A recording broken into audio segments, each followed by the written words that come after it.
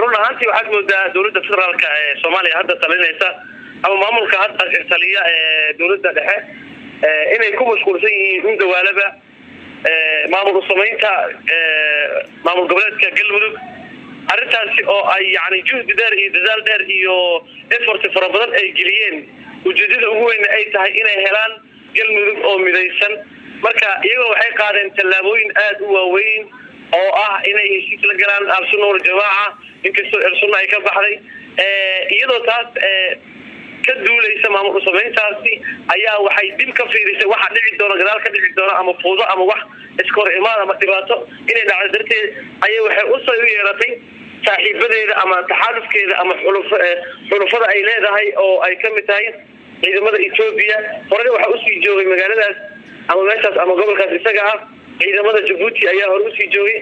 Marka saamaynta ugu weyn ee yeelan karto ma dhihi karo weyn oo muuqata yeelan kartaa waayo waa dad heshiis saaxiibo ah. Abiy axmed iyo farmaajona waxaan la soconaa inay ku heshiiyeen inay waxyaalo badan iska kaashadaan xagga amniga xagga dhaqaalaha xagga ganacsiga waxyaalo badan. Marka tanna qayb bay ka tahay ha yeeshee mucaaradkaad moodaa inay ka dhiganayaan qiil iyo dagaale ay yani ku andacoodaan marka isma dhigi karo saamayn saasay yeelan kartaa. Walaal waan gartay balse cabdirasaaq arrintan waxay ku soo aadeysaa xilli sannadkii hore bisha soo soctay december oo kale magaalada baydhabo wixii ka dhaca la ogaa oo halkaasi ciidamo etoobiyana loo adeegsaday. Mucaaradkana haatan waxay leeyihiin waxa etoobiyaanka meesha loo geeyay waxa ay tahay arrintaasoo kale in la sameeyo. Marka adiga cabsi noocaasa makuu muuqataa? Run ahaantii ima muuqato. Walaalo waxaad moodaa dadkan hadda la leeyahay mucaarad waaye ama dadkan hadda soomaalida muxaafadka ay u taqaano? Soomaalidu sideedaba qaabka wax loo mucaaradana ma taqaano qaabka wax loo muxaafadana ma taqaano. Yani waxyaalaha la isku dhaliilo dhaliisha mucaaradnimada waxaa fiican wax dhisaysa inay wax sii burburiso ama inay dadka ka sii nixisa midna ma aha. Marka waxaasi ma muuqdaan arrintii baydhabo iyo tanna isku mid maaha tan heshiis weyn baa ka dhacay isla afgarad buuxda ka dhacday.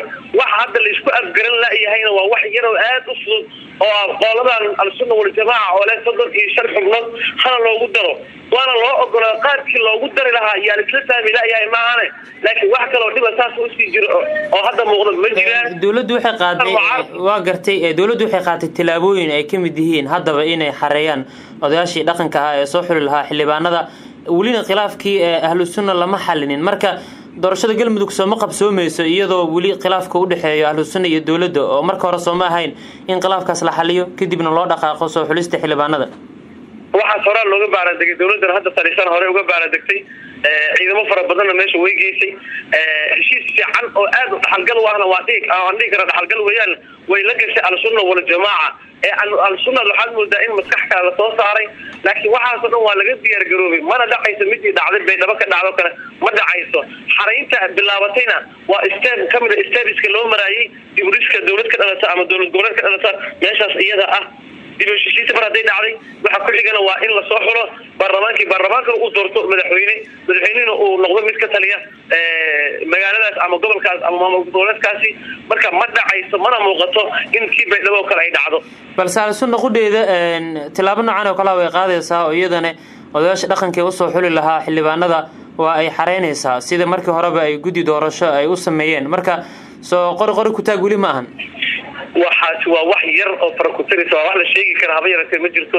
Sideedana hawl la qabanayo ma weynayso wax mucaarada ama wax ka hor yimaada qof baan dantiisa ku jirin. Soomaaliyana waxaad moodaa yani dhibka hadda ay ku jirto saan ah dad bay dan u tahay. Dad baa dan waxaa ka dhiganayaan in ay soomaaliya dowladnimo sax ay ka hesho oo ay u noqoto ama la helo dowlad saxa. Dadba waxbaa dan waa. Marka dad yar oo farakutirisa ayay dan u tahay arrintan iyada oo erayo iyo hadallo saxaafadda la soo martiina laga dhigayo wax weyn oo muuqda. Laakiin marka la isku soo duubo wax weyn oo muuqda maanta meesha yaalla ma jiraan. Wayna dhacaysaa yeglelidda ama unkidda dowlad maamul goboleeda oo yeelato ama uu yeesho maamul goboleedkaasi galmudug. Cabdirasaaq ugu dambeyn siyaasadda si dhow ayaa u taxliilisaa makuu muuqataa in galmudug midaysan ay ka dhalan karto doorashada soo aadan ee la filayo in galmudug ay ka dhacdo? Way dhalan kartaa waana dowlad la aqoonsanya oo macquul ah oo weliba ay raalli ka wada yihiin. Inta badan majoritiga ama waxaa loo yaqaano aqlabiya saaxiqa way ka dhalanaysaa leanna maxaa yeelay inta badan ama inta faraha badan ee gobolkaas ku nool ama maamul goboleedkaasi ku nool ayaa rabta dowlad in yar oo ka mid ahna mar rabaan. Dantiisa qofku markuu ka waayana wuu ka hor imaanayaa waxa uu laga samaynayo danta guud ayaa marka ka weyn dan gaar ah in la sameeyo marka. Marka wayna dhalinaysaa taasana laa shaka sideedana waxa lagu tafaaulo ama waxa lagu hadlo wax khayr lagu hadlaa fiican mar kasta ama wanaaga